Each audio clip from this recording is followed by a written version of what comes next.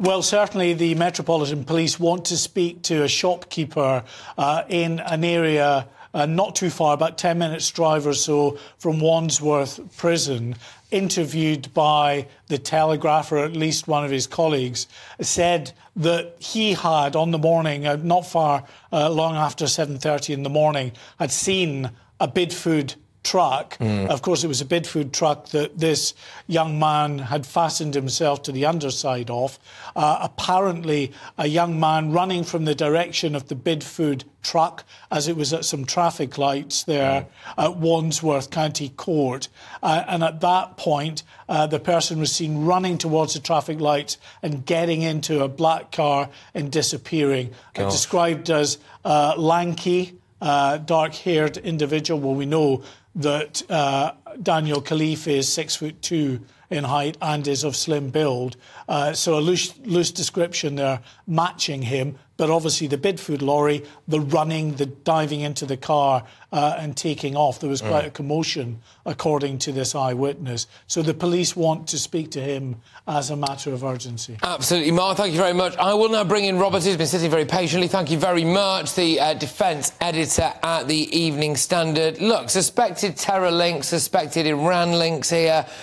Uh, now it looks as though there's a getaway car involved. What do you think's going on? Well, it's, as Mark was saying, it's a professional job. If that proves to be true, there's very good evidence, very strong evidence, it was a professional pickup. They were recovering an agent.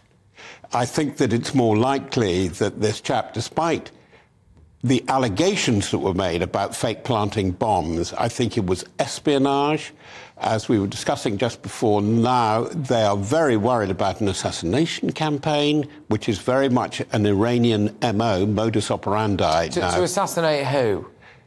Possibly dissidents.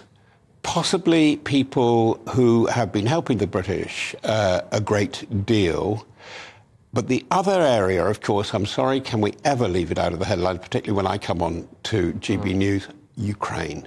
Iran is becoming increasingly, at not so much one remove, a very big player, a major supplier of equipment, of cheap drones, cheap missiles to Russia.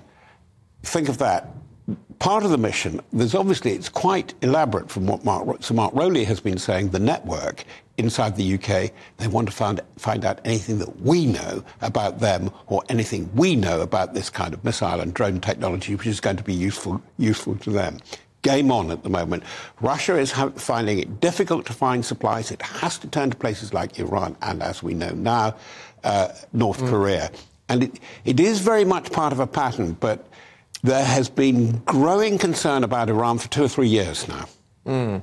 It's very interesting. If, you, if I go to an MOD briefing or a security briefing, yes, they will talk about the problems of, of Russia, but point two or point three is nearly always Iran now. Mm.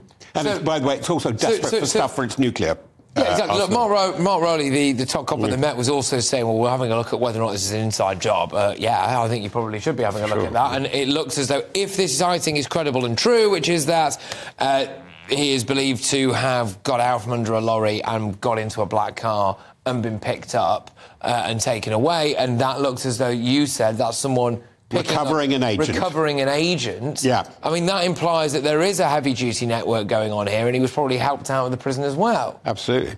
Well, absolutely, I mean, it's, absolutely. It's... Because as as uh, uh, uh, prison staff and Mark Rowley's own staff has been saying, actually, it sounds oh yeah, he strapped okay. himself under a truck. Actually, it was quite elaborate to prepare that, because not only was it the equipment, it was the superb timing of that. the superb timing of it, and knowing where to, if it's true, again, obviously, but it, knowing where to get off as well. I mean, if you are underneath a lorry, I don't know how exactly you would know. Presumably, they are having quite a long look at the individual who was driving that lorry, who no doubt claims to know absolutely nothing about it. Uh, do you think he's in the country, then? I think it's 50 50. Because there's one thing that this network would know uh, is how to disappear him and they may put him underground. They may hold him for quite some time before they get him how out. funny, but this is the thing, though. I mean, how They don't want him arrested, by the way, at any price now, because it is quite clear with the holding charges that he was on, this seems to me from the elaborate nature mm. of the springing of him that he was much more important, possibly, than they even thought. Mark, I mean, how valuable could this guy be? I mean, he wasn't massively high level in the army. He was in the Royal Signals. I mean, is, is, is he a Mr. Big?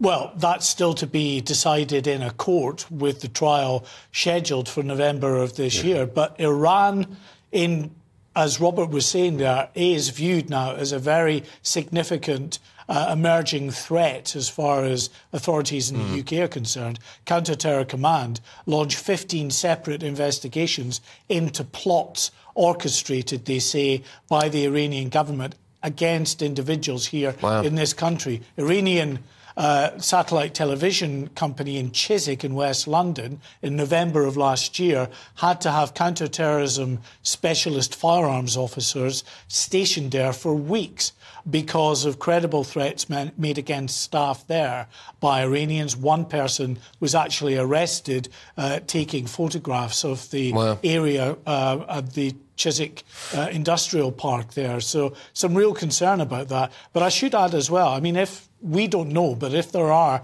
any links to the Iranians here, and if this young man has fallen uh, into the hands of the Iranians, either uh, organised or not, it doesn't mean he's safe. You no. know, because effectively for the Iranians, you know, with a trial that might expose well, Iranian why? attempts mm. to spy on the UK, they just don't want this person speaking. Quite, actually. Can I just pick you up on one thing? Go you on. said about this man just entering the Royal Corps of Signals as a, as a private.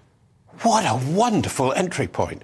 Royal Corps of Signals does satellite surveillance, mm. cyber, countermeasures, short term signalling, long term signalling. It's an integral part of the enormous digital battlefield, battle space, which is now filled with a lot of action in Eastern Europe, Ukraine. Yeah, look, really well put. Both of you, thank you very, very much.